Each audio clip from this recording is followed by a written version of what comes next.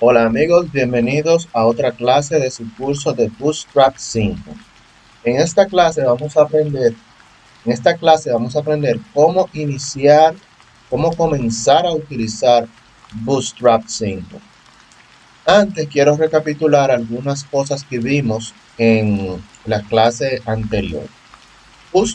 primero, Bootstrap es gratuito. Bootstrap es un framework de frontend, o sea, de la parte del eh, navegador. Dígase navegador, eh, Edge, Google Chrome, Mozilla, etc. Esos son los navegadores. Esto que estamos viendo aquí. Porque existen otras tecnologías que son backend. En este caso estamos viendo el Bootstrap 5, que es un framework para frontend. Cosas importantes de Bootstrap. Incluye HTML, incluye CSS, incluye botones, formularios, diseños, tipos de, letras y también incluye ya, eh, JavaScript, etc. Bootstrap, su principal objetivo es que usted pueda desarrollar aplicaciones web de una forma fácil o mejor dicho, más fácil y más rápida. Porque él eh, le ayuda a trabajar con los estilos y a crear aplicaciones responsivas. Como le dije anteriormente, las aplicaciones responsivas son aquellas aplicaciones las cuales se adaptan al dispositivo en el cual usted la esté mirando. Es decir, que si usted le está mirando desde una pantalla completa como la de una computadora, ve todo el formato, pero a medida que la cambia a una tableta, pues los componentes de la página se ajustan al espacio disponible de una manera eh, atractiva a la vista. Si se mueve a un celular, pues también se reajustan nuevamente, etc. Muy bien, entonces, habiendo dicho esto, vamos a ir viendo algunas cosas interesantes. Podemos ir, por ejemplo, aquí a Google y simplemente escribir Bootstrap 5 y vamos a ir a la página oficial de, de Bootstrap. Vamos por el momento a ampliar esto. Ok, vamos aquí al Home. En el Home nosotros podemos ver eh, las informaciones básicas, cómo se hace la instalación. Esta que está aquí es la instalación más simple, que es utilizando los CDN. Los CDN son básicamente eh, direcciones que apuntan hacia los códigos que crean el Bootstrap. Como ustedes pueden ver, aquí tenemos uno que es CSS, que es para los estilos y aquí tenemos otro que es JavaScript. Entonces, si yo copio esto y lo pego acá para ver su contenido, voy a ver, un momentito, lo que quiero copiar es esto realmente, la dirección que está dentro, ¿vale? Entonces esto llega, vamos a ver, esto llega hasta aquí. Yo lo copio lo pego acá pues yo voy a ver que esta dirección lo que tiene es un código CSS. Si yo hiciera lo mismo con el de abajo, bueno, pues entonces me llevaría a una página de JavaScript, que es que tiene el código JavaScript de eh, Bootstrap. Entonces la forma más fácil de comenzar a utilizarlo es apuntando hacia estas páginas con el CDN. O esto es lo que se llama CDN Ahora bien, eh, si esto, si estas páginas están fuera de línea, si están abajo las páginas, lo que sea, o si hay una modificación en las mismas, pues su aplicación se va a ver afectada. Una opción que usted puede utilizar es simplemente descargar esto haciendo un clic derecho, guardar como, lo ubica en, una, en un área y luego hace el enlace pero vamos a hacerlo por lo pronto con el CDN. Entonces, lo que vamos a hacer es lo siguiente para nuestra prueba. Vamos a ir aquí y simplemente con Shift y el signo de admiración inmediatamente el eh, editor nos permite pues crear el cuerpo de un documento HTML. ¿Qué es importante en este cuerpo? Bueno, el lenguaje, que en este caso está en inglés, usted lo puede cambiar al que usted desee. La parte que dice char set es lo que nos permite utilizar eh, la ñ, utilizar acentos, utilizar todo ese tipo de caracteres que no son comunes quizás en el idioma inglés. Entonces, siempre debemos tener char set-8. Eh, aquí entonces decimos que va a ser compatible con, con Edge, que es el navegador de, de Microsoft. Y le decimos que Internet Explorer es igual a Edge. ¿Ok? Entonces, viewport. ¿Qué es un viewport?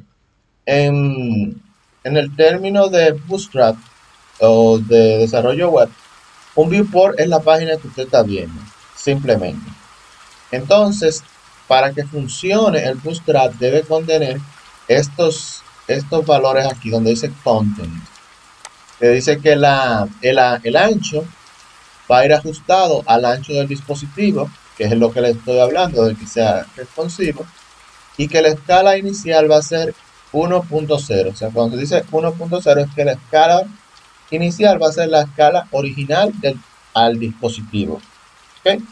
Entonces, esto, como vieron, es de forma automática con Shift y luego eh, el signo de admiración. Entonces, como vimos el tema de la, de la instalación, con copiar estos dos enlaces es suficiente. Yo puedo venir aquí y aquí, por ejemplo, debajo de title o antes de title, aquí vamos a ponerlo acá. Lo importante es que esté en el head. ¿okay? Vamos a pegar aquí, vamos a home y acabamos de pegar el CSS. Entonces, yo les recomiendo que la parte que tiene que ver con el JavaScript lo hagan luego de la etiqueta body. Luego vamos a ver por qué simplemente copiamos acá, venimos aquí, pegamos. Le damos un espaciado para que se vea eh, organizado. Eso se llama indexar, indexar, indexar, cuando usted mueve todo para que quede así como bien organizado. Muy bien, entonces ya tenemos dentro de nuestra página pues eh, la referencia tanto al JavaScript de Bootstrap como al CSS de Bootstrap. Miren qué fácil podemos iniciar, comenzar a utilizar pues eh, Bootstrap. Entonces lo que vamos a hacer ahora es comenzar a poner código dentro de dentro del, del documento. Entonces vamos a ponerle aquí en el título Bootstrap 5. ¿Ok? Entonces, con Bootstrap 5 eh, como título, aquí lo que vamos a hacer es hacer un div. Un div es como viene de la parte división, es un área dentro del eh, documento. Yo puedo decir div, vamos a hacerlo div inicia y div cierra. O sea, inicia un div y se cierra un div. Entonces, dentro de ese div, yo voy a poner eh, un párrafo. Con la palabra P, inicio y cierro párrafo. Lawrence. Entonces yo puedo poner un Lawrence que tenga un texto ahí, ¿verdad? Entonces, ese Lawrence lo que tiene es eh, texto sin sentido que yo lo utilizo para rellenar mi eh, mi página web de prueba ok entonces aquí estamos viendo la, la index ok vamos aquí a refrescar y qué tenemos aquí bueno aquí tenemos un texto.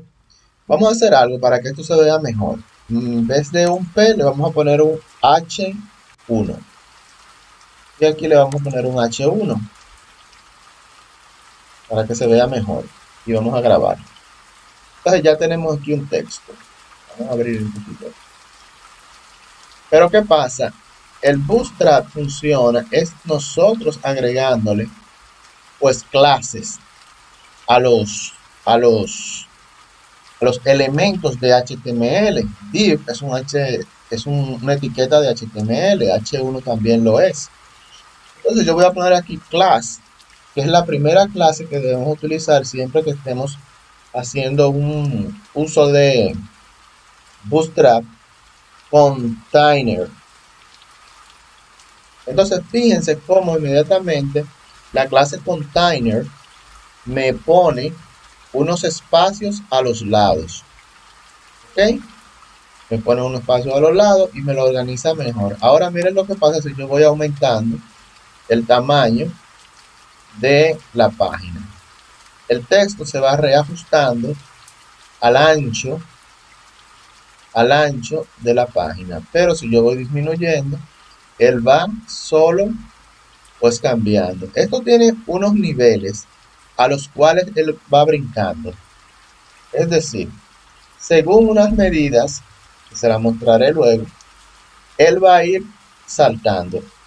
Ahora, si yo quisiera que ese cambio fuera fluido todo el tiempo, que yo simplemente mueva un poquito y ya de una vez, pues, él se ajuste, que no tenga que esperar los saltos. Porque, por ejemplo, miren, si yo hago un movimiento pequeño, hay una parte donde no se mueve. Cuando yo cambio esto a container guion fluid, fluido, lo primero que pasa es que me quita los espacios de los lados. Y lo otro es que el, el ancho del, del texto, en este caso, pudiera ser de los objetos, de los elementos HTML que están en la página, no solamente texto, van a ir reajustándose de forma fluida. Miren. Y el espacio a los lados ya no está. Esa es la principal diferencia entre los contenedores. La principal diferencia tenemos container y container fluid. Bueno, en esta clase, resumiendo, vimos el tema del lenguaje el tema del chat set que debe ser UTF-8. Vimos también qué significa viewport. Vimos que debemos tener en contest with eh, igual a device-width initial scale igual a 1.0. También vimos dónde podemos encontrar los CDN. Sabemos también que los CDN podemos grabarlo localmente. Y cuál es la cuál es la razón o cuáles pueden ser eh, los problemas que nos puede dar si cambian los CDN de dirección o si cambia el contenido o si se cae el CDN. Eso es todo por esta clase y nos vemos en la próxima. Bye bye.